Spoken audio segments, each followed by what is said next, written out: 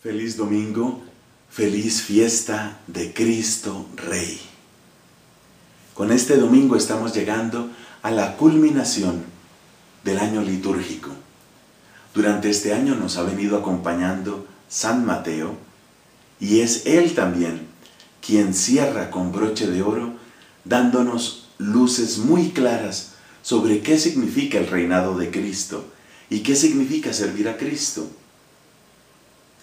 El mismo Mateo nos había dicho al final del Sermón de la Montaña, que es el discurso más famoso de Jesucristo, había dicho en labios de Cristo, no basta con decirme, Señor, Señor. Hay que hacer la voluntad del Padre que está en los cielos. La verdadera forma, la verdadera manera de servir a Cristo es dar espacio en nuestras vidas para que su evangelio suceda. El evangelio tiene que volar de las páginas de un libro a las páginas de tu vida. Esas letras del evangelio tienen que poderse leer en las horas, en las acciones, en las palabras, en lo que tú haces. Y esto es lo que nos recuerda de manera dramática el capítulo 25 de este evangelio según San Mateo. ¿De qué se trata pertenecer a Cristo? ¿En qué consiste eso de pertenecer a Cristo? Pues el capítulo 25 nos lo muestra de un modo bastante gráfico. De lo que se trata finalmente es de compartir los sentimientos de Cristo, ser como Él. ¿En qué sentido? Pues lo mismo que escuchamos en otro contexto, en el Evangelio de Juan. Como el Padre me ha enviado, así os envío yo. Como el Padre me ha amado, así os amo yo. Es decir, eso que Cristo ha recibido del Padre, nosotros lo recibimos de Cristo.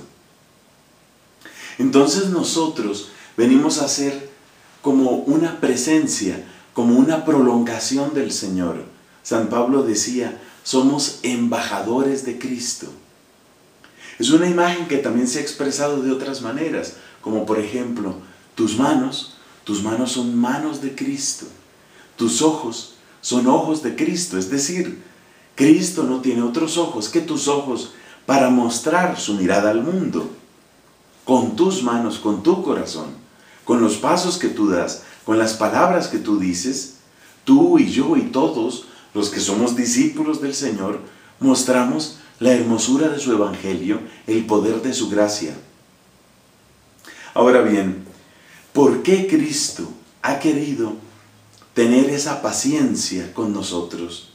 ¿Por qué Cristo nos ha soportado con tanta paciencia y nos ha rodeado de tantos bienes? ¿Por qué ha curado nuestras heridas y nos alimenta incluso con su cuerpo y con su sangre? La única expresión, la única explicación es el amor amor de misericordia, amor gratuito, amor generoso.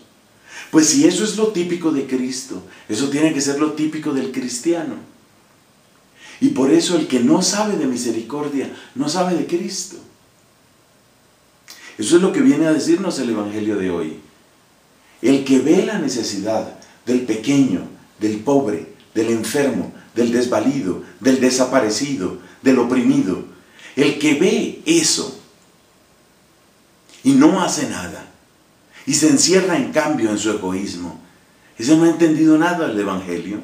Ese no es de Jesús. En cambio, el que prolonga el gesto compasivo de Cristo con el hambriento, con el sediento, con el que está desorientado, con el que está desvalido, ese, ese sí conoce la palabra gracia, ese sí ha entendido el Evangelio de salvación.